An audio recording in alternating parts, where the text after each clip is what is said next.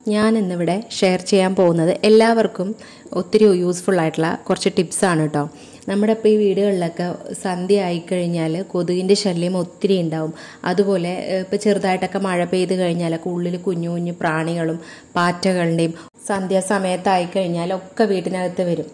അപ്പോൾ ഇതിന്റെയൊക്കെ ശല്യം ഒഴിവാക്കാനുള്ള ഒത്തിരി ഒരു നല്ലൊരു ടിപ്സ് ഞാൻ ഇതിൽ ഉൾപ്പെടുത്തിയിട്ടുണ്ട് കേട്ടോ അപ്പോൾ നിങ്ങൾ വീഡിയോ സ്കിപ്പ് ചെയ്യാതെ കാണണേ. അപ്പോൾ നമുക്ക് നേരെ വീഡിയോയിലോട്ട് പോവാം. അപ്പോൾ ആദ്യത്തെ ടിപ്സ് എന്താണെന്ന് വെച്ചാൽ നമ്മളിപ്പോൾ ചായയൊക്കെ ഇടുന്ന സമയത്ത് സാധാരണ നമ്മൾ ചായപ്പൊടി ഇടാറ് പതിവ്. അപ്പോൾ നമ്മൾ അത്യാവശ്യം വേണമെങ്കിൽ ഏലക്കായൊക്കെ അതിൽ കുത്തിച്ചതച്ചൊക്കെ ഇട്ടിട്ട് കഴിക്കാറുണ്ട്. അപ്പോൾ അതിന് നല്ലൊരു മണമായിരിക്കും അതിനേക്കാളും ഒത്തിരി നല്ലത് എന്താണെന്ന് വെച്ചാൽ നമ്മുടെ ഈ ഒരു ചായപ്പൊടി ആക്കി വെച്ചിരിക്കുന്ന ചായയിലാക്കി വെച്ചിരിക്കുന്ന ആ ഒരു ടിന്നുണ്ടല്ലോ അതിനകത്ത് നമുക്ക് കുറച്ച് ഏലക്കായും അതേപോലെ ഒരു പട്ട ഒരു കഷ്ണം പട്ടയും കൂടെ അതിനകത്ത് ഇട്ട് വെച്ചിട്ട് നന്നായി ഒന്ന് മിക്സ് ചെയ്ത് വെച്ച് കഴിഞ്ഞാൽ നമുക്ക് ആ ചായയിലേക്ക് നല്ലൊരു മണമായിരിക്കും. അപ്പം നമ്മൾ ഈ ഒരു പൊടി കൊണ്ട് നമ്മൾ ചായ എടുക്കുകയാണെങ്കിൽ ചായക്ക് നല്ലൊരു മണം ഉണ്ടാവും. അതുപോലെ നല്ല ടേസ്റ്റ് ആയിരിക്കും. നമ്മൾ സാധാരണ ചായ എടുക്കുന്നതിന് വെച്ച് നല്ലൊരു ടേസ്റ്റ് ആയിരിക്കും കേട്ടോ നമ്മളിതിൽ ആ ഒരു ചായപ്പൊടി മാത്രം ഇട്ട് കൊടുത്താൽ മതി. നമ്മൾ ഏലക്കായോ പട്ടയോ ഒന്നും നമ്മൾ ചായ എടുക്കുമ്പോൾ അതിൽ ഇട്ട് കൊടുക്കേണ്ട ആവശ്യമില്ല. ആ പൊടിയിൽ തന്നെ നല്ല മണം ഉണ്ടാവും. അപ്പോൾ നിങ്ങൾ ഇതേപോലെ ഒന്ന് ട്രൈ ചെയ്ത് നോക്കുക. എന്നിട്ട് നിങ്ങൾക്ക് ഉപകാരപ്പെടുന്നതായി തോന്നിയിട്ടുണ്ടെങ്കിൽ എന്റെ വീഡിയോയ്ക്ക് ഒരു ലൈക്ക് കൊടുക്കാനും നിങ്ങളുടെ ഫ്രണ്ട്സിനൊക്കെ ഒന്ന് ഷെയർ ചെയ്യാനും മറക്കരുത് കേട്ടോ. ഇനി നമുക്ക് അടുത്ത ടിപ്സിലോട്ട് പോവാം. അടുത്ത ടിപ്സ് എന്താണെന്ന് വെച്ചാൽ നമ്മൾ സാധാരണ കേക്കൊക്കെ ഉണ്ടാക്കുന്ന സമയത്ത് നമ്മൾ വിപ്പിംഗ് ക്രീം വിപ്പ് ചെയ്ത് വെക്കാറുണ്ട്. അപ്പോൾ നമ്മൾ ആ ഒരു ക്രീം ചിലപ്പോൾ കേക്കിന് കറക്റ്റ് ആയതിന് ശേഷം നമുക്ക് കുറച്ച് ബാലൻസ് വരാറുണ്ട്. Whipping cream. അപ്പോൾ ബാലൻസ് വന്നു കഴിഞ്ഞാൽ നമ്മളത് ചിലപ്പോൾ നമ്മൾ ചിലവർ കുറേ നാൾ ഫ്രീസറിനകത്ത് വെച്ചിട്ട് കളയാറൊക്കെയാണ് പതിവ്. അല്ലാതെ ചിലവർ അതിനെ നമുക്ക് ഐസ്ക്രീം ഉണ്ടാക്കാൻ കഴിയും. ഈ വിപ്പിഡ് ക്രീം നമ്മൾ ഐസ്ക്രീം ഉണ്ടാക്കി കഴിഞ്ഞാൽ നല്ല ടേസ്റ്റ് ആയിരിക്കും കേട്ടോ അതേപോലെ തന്നെ നമ്മൾ ഈ ഒരു ബാക്കി വന്നിട്ടുള്ള വിപ്പിംഗ് ക്രീം കൊണ്ട് നമുക്ക് ഫ്രൂട്ട് സലാഡ് ഉണ്ടാക്കാം. നല്ല ടേസ്റ്റ് ആയിരിക്കും കേട്ടോ പ്രത്യേകിച്ച് പണിയൊന്നുമില്ല. അപ്പം നമുക്ക് ഏത് ഫ്രൂട്ട്സ് വേണമെങ്കിലും നമുക്ക് ഇതേപോലെ കുഞ്ഞതാക്കി കട്ട് ചെയ്ത് എടുത്തതിന് ശേഷം ഞാൻ അവിടെ മാങ്ങയും ആപ്പിളും മാതളങ്ങയാണ് കേട്ടോ എടുത്തിരിക്കുന്നത്. അത് നല്ല ഒരേ സെയിം ഇതിൽ കട്ട് ചെയ്തതിന് ശേഷം നമുക്ക് ബാലൻസ് വന്നിട്ടുള്ള ആ വിപ്പിംഗ് ക്രീം ഇതിനകത്തൊക്കെ ഇട്ട് കൊടുത്തിട്ട് നന്നായി തന്നെ ഒന്ന് മിക്സ് ചെയ്യാം. നന്നായി തന്നെ ഒന്ന് മിക്സ് ചെയ്ത് കൊടുത്തതിന് ശേഷം നമ്മളത് കുറച്ച് സമയം ഫ്രിഡ്ജിനകത്തോട്ട് വെച്ചിട്ട് ഇത് നല്ലോണം തന്നെ ഒന്ന് ഫ്രൂട്ട്സും എല്ലാം ഒന്ന് തണുപ്പിച്ചെടുത്തതിന് ശേഷം നമ്മൾ കഴിക്കുകയാണെങ്കിൽ നല്ല അടിപൊളി ടേസ്റ്റ് ആയിരിക്കും കേട്ടോ നമുക്കിതിലേക്ക് പ്രത്യേകിച്ച് മധുരം ചേർക്ക് ഒന്നും ചെയ്യേണ്ട ആവശ്യമില്ല. നമ്മൾ വിപ്പിംഗ് ക്രീമിൽ നമുക്ക് ഓൾറെഡി മധുരം ഉണ്ടാവും. അപ്പോൾ നമ്മൾ ആ അതുപോലെ ബാലൻസ് ആയിട്ട് വന്നിട്ടുള്ള വിപ്പിംഗ് ക്രീം നമ്മൾ വെറുതെ വേസ്റ്റ് ആക്കി കളയുന്നതിനേക്കാളും നമ്മുടെ കയ്യിലുള്ള കുറച്ച് ഫ്രൂട്ട്സ് കൊണ്ട് നമ്മൾ ഇതേപോലെ ചെയ്യുകയാണെങ്കിൽ കുട്ടികൾക്കൊക്കെ ഒത്തിരി ഇഷ്ടാവുകയും ചെയ്യും.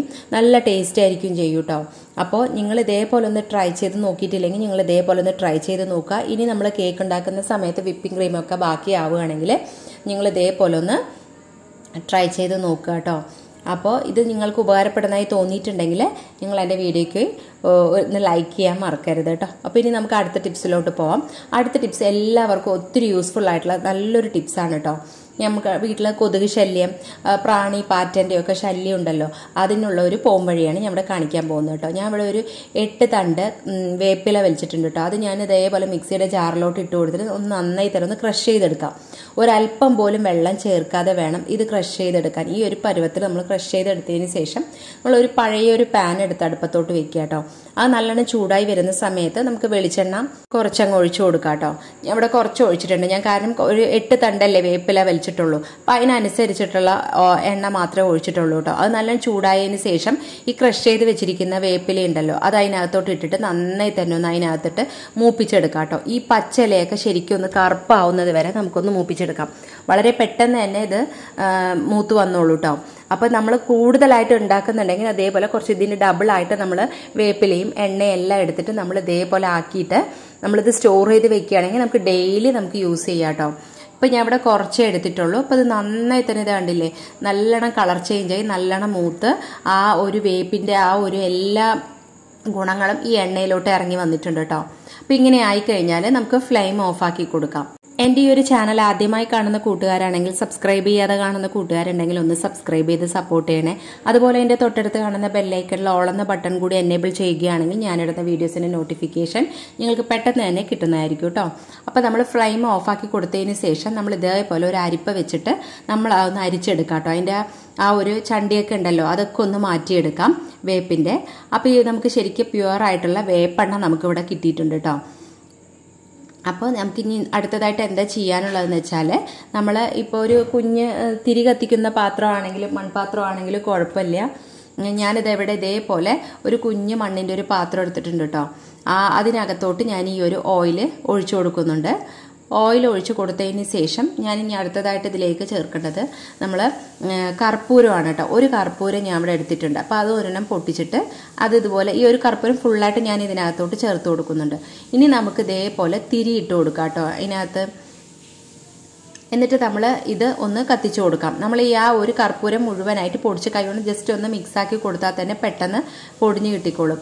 അപ്പോൾ കർപ്പൂരത്തിന്റെയും ഈ വേപ്പിന്റെയും എല്ലാ ഒരു സ്മെല്ലും ഉണ്ട്. നമ്മുടെ ആ ഒരു പരിസരത്തേക്ക് കൊതുക് വരികയില്ല. നമ്മൾ സന്ധ്യാസമയത്ത് ഇതേപോലെ ഒന്ന് കത്തിച്ച് വെക്കുകയാണെങ്കിൽ കുഞ്ഞു കുഞ്ഞു പ്രാണികൾ വരുന്നതും കുഞ്ഞു പാറ്റകൾ വരുന്നതും അതേപോലെ റബ്ബറൊക്കെ ഒത്തിരിയുള്ള സ്ഥലങ്ങളിൽ സ്ഥലങ്ങളിൽ രാത്രിയാവുന്ന സമയത്ത് ഒരു മുപ്ലി വണ്ട് എന്ന് പറഞ്ഞൊരു വണ്ടുണ്ട് കേട്ടോ അത് അതിന് പല സ്ഥലങ്ങളിൽ പല പേരാണ്. കോട്ടരുമ എന്നൊക്കെ അതിനെ പറയും.